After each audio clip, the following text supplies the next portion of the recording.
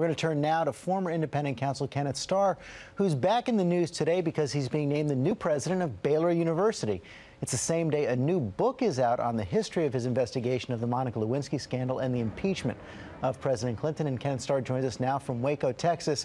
Uh, good morning, Judge Starr. And I want to get to that book in a second. But first, congratulations on the appointment as president of Baylor. This is a bit of a homecoming for you, right? Thank you, George. It sure is. Uh, I'm a fifth generation uh, Texan. I left the great state of Texas at the uh, age of 18, so a few decades later, it's, it's great to be coming back, and especially to Baylor University, which uh, has a great, great tradition, older than the state of Texas itself in 1845. So it's great to be coming home. Older than the state of Texas. Well, this seems like a long time ago as well, but the, the, the whole hmm. investigation of President Clinton and the Monica Lewinsky affair is back in the news this morning because of this new book, The Death of American Virtue. The author, Professor Ken Gorm Gormley, seems to admire you personally. It certainly comes across in the book, but he also comes to the conclusion that you were unsuited for this job of independent prosecutor professionally and that it was a mistake for you to take on the Lewinsky matter. What do you think of that conclusion? Well, Ken is a very uh, uh, astute observer. He's actually uh, the dean, the interim dean of the Duquesne Law School in Pittsburgh.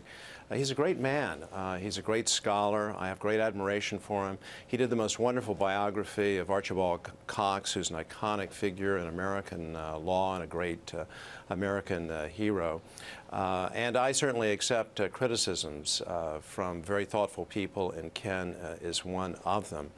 Uh, but I will say I do respectfully disagree with some of his uh, conclusions, but this is one of those things, George, where reasonable minds uh, can differ, but I have great respect for him and his opinions. The most serious charge seems to be the, the, his, his conclusions about the questioning of Monica Lewinsky, the so-called brace of Monica Lewinsky, and he talks about a, a Justice Department investigation that was led by Joanne Harris, and she seems to take great issue with the fact uh, that Monica Lewinsky was not allowed to call her lawyer, was dissuaded from calling her lawyer during the questioning. She said in the book, I wouldn't have touched her, Lewinsky, with a 10 foot pole. The minute she says, Can I call my lawyer? you stop. And when she says it for the sixth or seventh time, you really stop. Why wasn't she allowed to call her lawyer? Well, again, George, these are uh, issues from the past, and again, you have uh, a very thoughtful examination by Ken uh, Gormley, and uh, you know there was a very unhappy uh, chapter in the nation's history, and of course, specific tactics can be questioned and, and should be questioned. Uh, power should be should be accounted for, and the use of power should be accounted for. So um, I accept thoughtful thoughtful criticisms. and I think Ken's book is a, is a useful service to, to the country. Do you think you'll ever write about it? I don't think so, George. Uh, I think that the uh, Congress of the United States uh, was wise in allowing the independent counsel statute to expire. But one of the provisions of the independent counsel statute was that the independent counsel should, uh, should issue a report, whether uh, prosecution is, is brought or, or not. Uh, and I think the American public from 10 years ago probably had all the reports that they, that they wanted. Uh, I've been very happy to move on in professional life, to be called to serve at Pepperdine University School of Law, now to be called to uh, Baylor University to serve as its uh, president. And so, uh, to coin a phrase, uh, move on.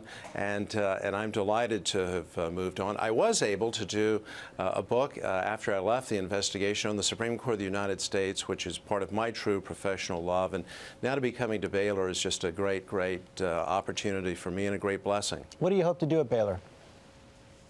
Well, Baylor has a mighty tradition and has gone through a process of uh, introspection and examination to move really to the next uh, level.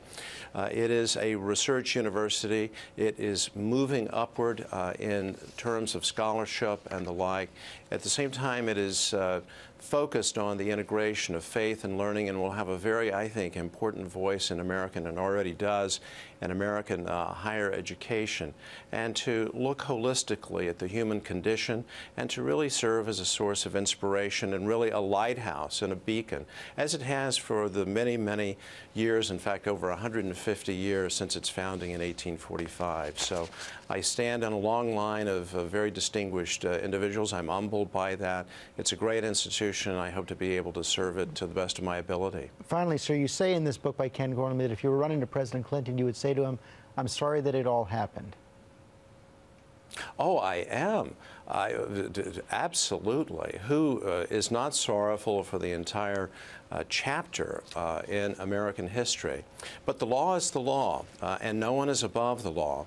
And it was the decision, and it was an unhappy decision, but it was the right decision of Attorney General Reno when she saw the facts, the possibility, the possibility that federal crimes may have been committed. Yes, in this very unhappy set of circumstances, the matter had to be investigated because in our country, no one is above the law. Okay, well, Judge Starr, thanks very much for your time this morning, and good luck at Baylor. Thanks so much, George. Good to talk to you.